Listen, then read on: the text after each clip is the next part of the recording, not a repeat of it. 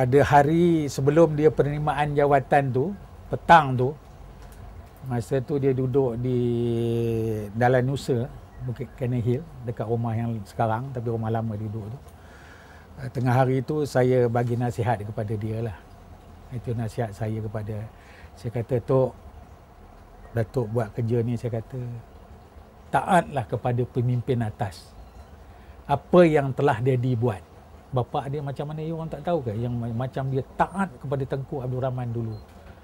Ingat ke masa 13 1969 punya kes orang mengamuk orang apa tak ndakkan Tengku. Tapi Allahyarham Tun cukup taat kepada pemimpin. Sampai sudah.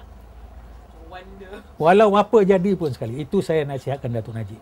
Saya ingat lagi kalau saya ingat saya minta mata nasihat dia. Rosmah ada dengar tiga orang makan tengah hari sebelum dua setengah dia nak pergi ke Kementerian Pertahanan ambil uh, guard of honor nak terimakan jawatan tu. Itulah nasihat saya yang pertama. Saya ni dah 40 tahun lebih bekerja dengan keluarga ni. Dan saya tidak ada kepentingan saya tak ada apa. Datuk faham saya kata. Tapi saya nak cakap ni kalau Datuk nak marah marahlah. Apa yang saya cakap ni? Saya cakap tadi. Datuk nak marah marahlah saya. Tetapi saya nak cakap dengan Datuk untuk membetulkan Datuk. Pertama saya nak tanya Datuk,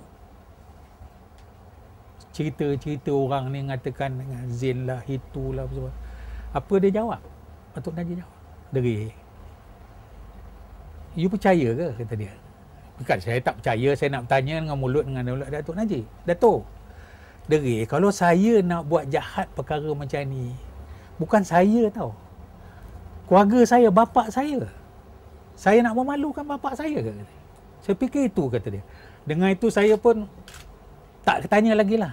Pasal saya tahu dia tak buat perkara-perkara yang orang buat fitnah itu pun semua. Lah suka dengan ayat tulas, ayat tu, ayat sianu pun. Saya tahu. Dia orang ni adik-beradik sampai sekarang sebelum arwah Tun meninggal. Tiap-tiap hari Rabu, hari Rabu malam, dia orang akan makan bersama keluarga sampai sekarang? Ha, Najib sesekali lah, you tahulah dia sibuk kan. Tapi kalau adik-beradik lain, Nizam, Nazim, Datuk Johari, apa semua kan. Datuk Nazir sesekali datang juga. Dia makan dinner sampai sekarang. And then dia orang ni anak beranak ni baik Najib, baik Nizam apa semua. Dia orang dengan anak mak dia macam kawan. Ha, boleh seluruh tak adalah dia orang dengan mak dia. Saya pun cukup hal lah.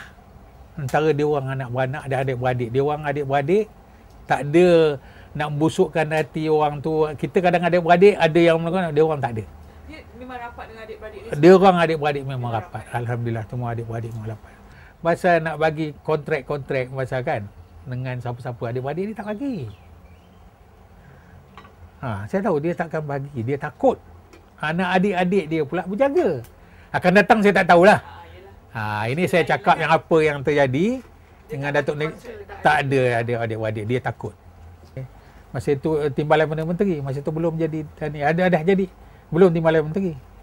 Dia kata tak tahu lah dia macam-macam cerita dia. Masa tu ada kosong tu kan? Ha? Yang tiga bulan selepas Tun ha. berhenti kan? Ha, ha. Masa tu, masa tu kita pergi lah masa sebelum tiga bulan.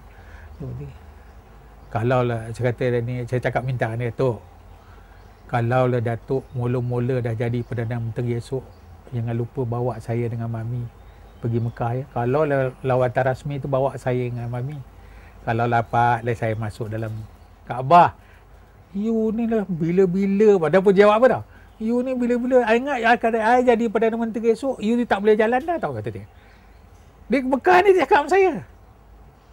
Ha, dia ingat dia saya dah teruk esok barulah nak merasa jadi benar-benar. Itulah dia buat. Saya ingat lagi. Depan Kaabah tu dia bercakap. Tahu? Like dia rasa macam peluang dia jauh. Tak jauh. Peluang dia jauh. Dia kata. Ya, okay lah. ingat you dah tak boleh jalan. So, barulah I nak dapat kot, kata dia.